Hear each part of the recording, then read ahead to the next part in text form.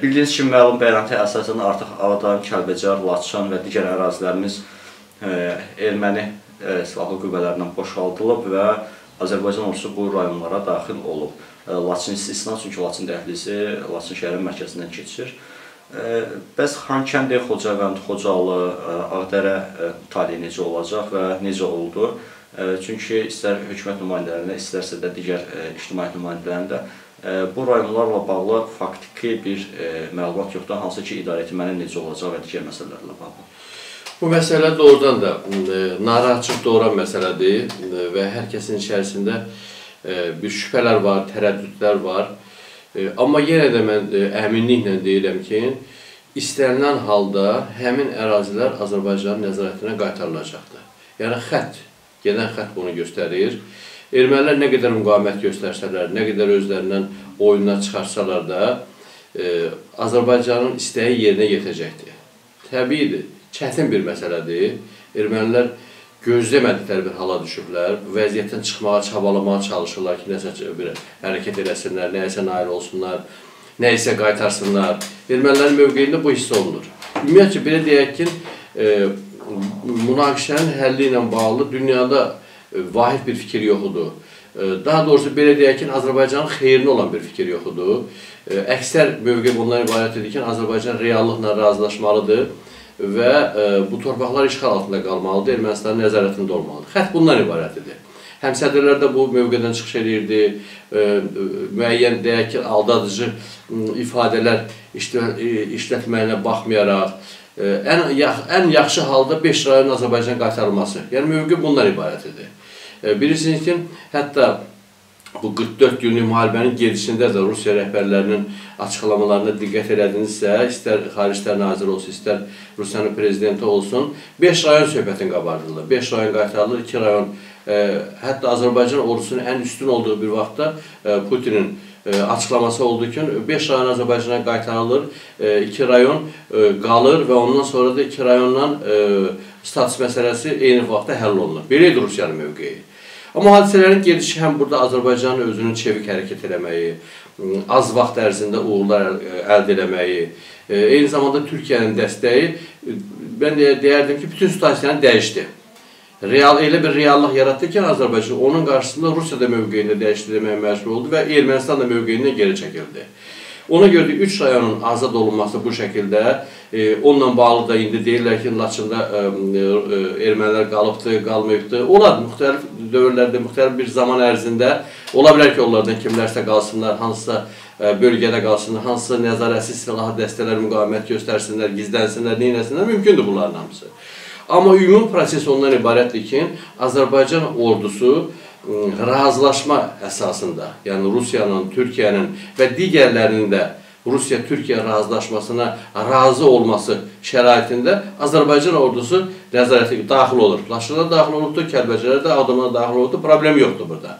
Sadəcə olaraq burada söhbət ondan, indi siz Laçınla bağlı dediniz, Laçınla bağlı da e, o razılaşmada bilirsiniz ki, e, əlavə bir yolun e, dəhlizin çəkilməsi nəzərdə tutulur, yəni Laçının yanından keçməklə Amma Laçının hətta içərisindən keçirsə indi və Rusiya ə, hərbiçiləri sülhməramları nəzarət edirlərsə, yenə də Azərbaycanın nəzarətindədir həmin ərazidir.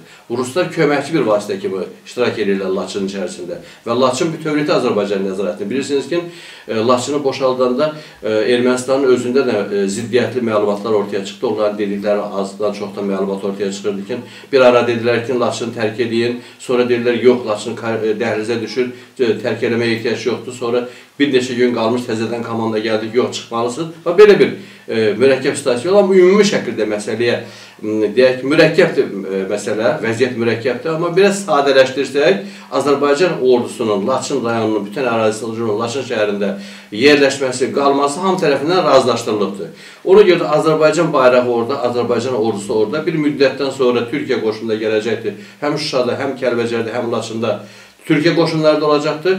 O da bizim situasiyanı bizim xeyrimizə dəyişəcəkdir. Dediyiniz məsələ, yəni burada üç istiqamət var.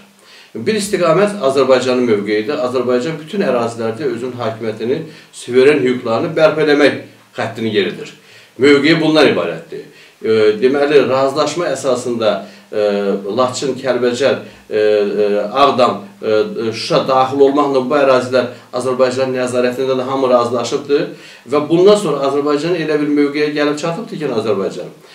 Bundan sonra öz e, uğurlarını inkişaf elətdirmək Azərbaycan üçün çox asan olacaq. Çünki Azərbaycan həm döyüşdə özünü göstəribdir, həm beynəlxalq təşkilatlar qarşısında haqlı olduğunu sübut edibdir və qəbul olunur Azərbaycanın haqlı mövqeyi.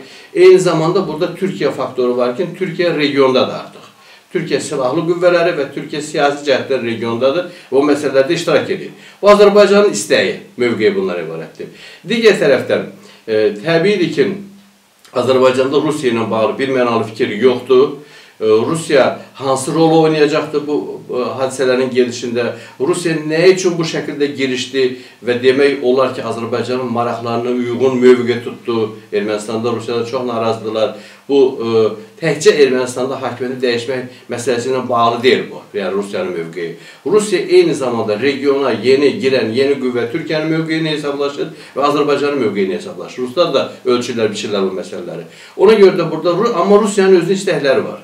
Rusiya təmənnasız şəkildə Azərbaycana kömək eləsin ki, bütün bu ərazilər boşalsın, Azərbaycanın nəzarətinə keçsin, bu inandırıcı deyil. Yəni, inanmaq da mümkün deyil. Rusiyanın marağı ondan ibarətdir və hiss olunur Rusiyanın marağı ondan ibarətdir ki, bu bölgədə özünün hakimiyyətini, e, nəzarətini bərqərar eləsin. Rusiyanın istəyi bundan ibarətdir. Ən azından e, Azərbaycanın nəzarətindən hələ kənarda qalan ərazidə, yəni Dağlıq Qarabağın Xankəndi, Xocalı, Əskəran, Ağdərə, e, Xocavənd, e, Xocavəndin e, özü və bir hissəsi, yəni bir hissəsi bizdədir.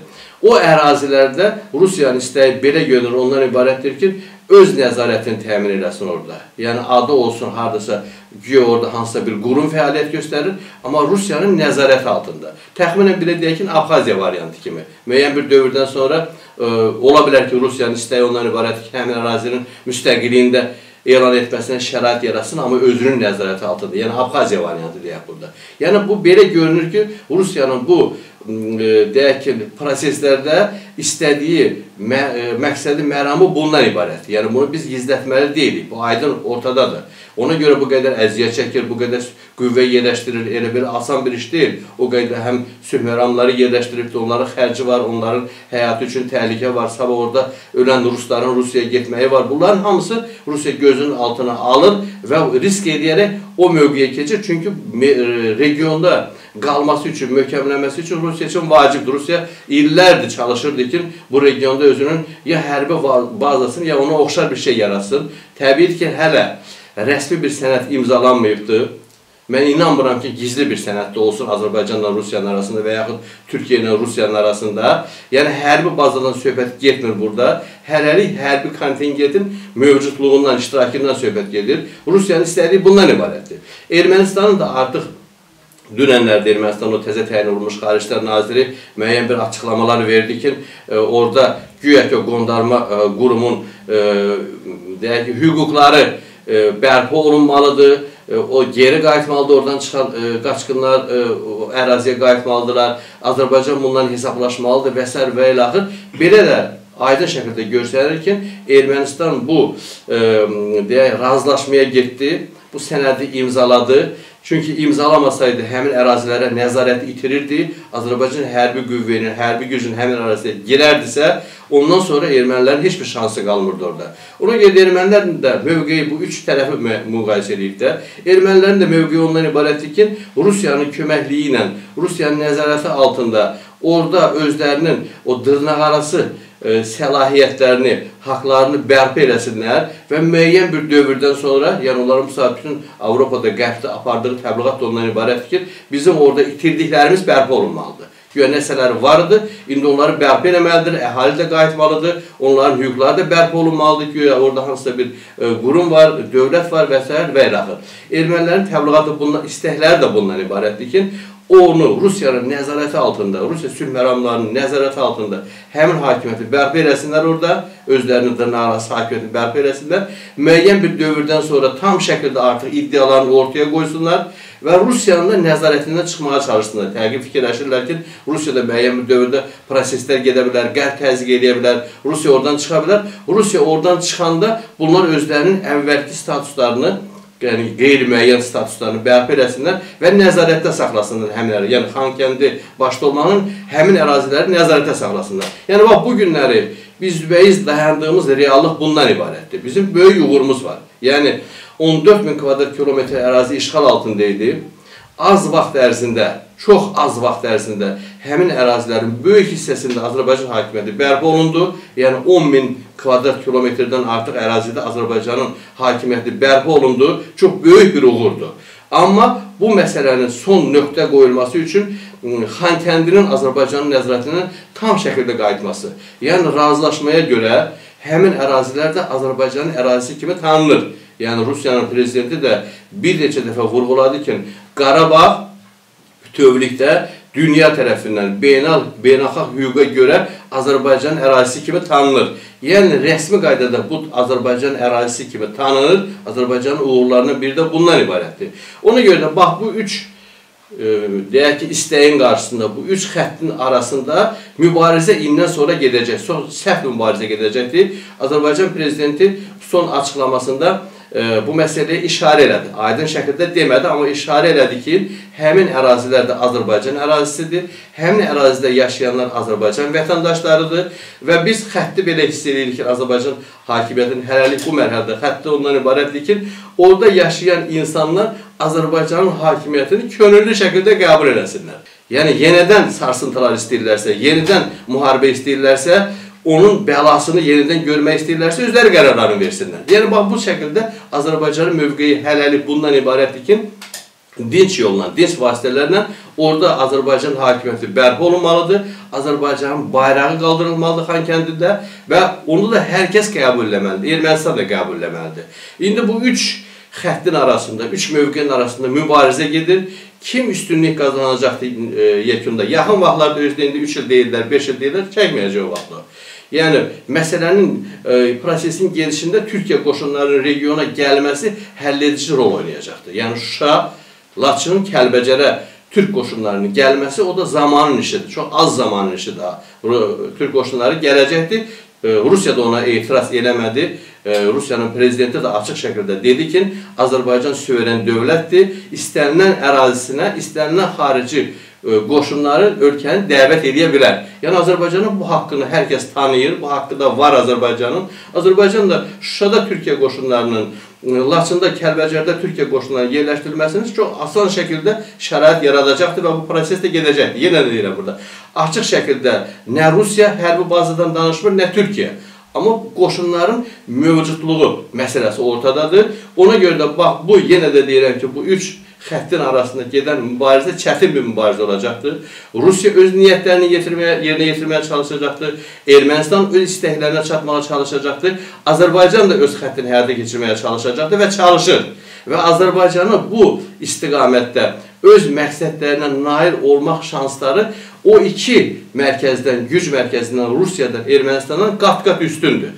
Burada birinci amil ondan ibarətdir ki, Azərbaycan əldə etdiyi nəticələrə müharibə yolu ilə gücünü göstərməklə, bütün dünya gücünü göstərməklə, o cümlədən Rusiyaya gücünü göstərməklə nail olubdur. İkinci amil, əsas amillərdən e, biri də ondan ibarətdir ki, Türkiyə e, Azərbaycanın yanındadır və Türkiyə Azərbaycanın bu xəttini dəstəkləyir. Ona görə də şansı Azərbaycanın öz istəklərini yerinə yetirmək şansı daha çoxdur. Akbəy, siz bir məsələ toxundunuz. Mən istəyirəm bu məsələnin üstündə biz biraz qalaq. Rus sülh məramları Qarabağa gələndən öz vəzifələrinə uyğun olmayan işlər də həyata keçirirlər, hansı ki, bu Azərbaycan cəmiyyətində bir sarqıcılığa səbəb olur. Səbəb nədir sizin fikrinizcə bu Rus sülh məramlarının öz vəzifələrindən kənara çıxması? Nəyi nəzərdə tutursunuz, tam dəqiq anlamadım. Məktəbdə erməni şagirdlərinə çanta paylamaq Rus sülh məramlısının işidirmi? Hə, aydındır. Yəni mən başa düşdüm təxminən ki, Rusiya Ermənistana müəyyən reveranslar eləyir. Müəyyən özünün deyək ki, xoş münasibətlərini göstərir. məktəb bərpa eləyir, bağçanı bərpa eləyir, e, tutaq ki, e, müəyyən e, hədiyyələr e, bağışlayır. E, Rusiya sülh məramlarının rəhbəri oradakı qondarma e, e, özünü qondarma qurumu rəhbəri elan edəndən görüşlər keçirir, e, şəkil çəkdirir ondan. Müəyyən hərəkətlər edir Rusiya. Mən hesab edirəm ki, Rusiya bu məqamda çünki e, az vaxt ərzində Ermənistanın e, az qala e, əbədi e, əldə etdiyi nəticədən geri çəkilməsi çox çətin məsələdir. Yəni bunu bir o psixoloji e, amil də var burada. Ermənistanın da arxasında dayananlar var, başqa dövlətlərdə var, regionda maraqları olan. Yəni birdən elə bir ki, e, e, kobud güclə vurub hər şeyi dağıtmaq ki, sən təslim olmalısan, razılaşmalısan, o biraz çətin bir məsələdir. Ona müqavimət də istər-istəməz e, yaranır. Kör təbii də olsa müqavimət də yarana bilər.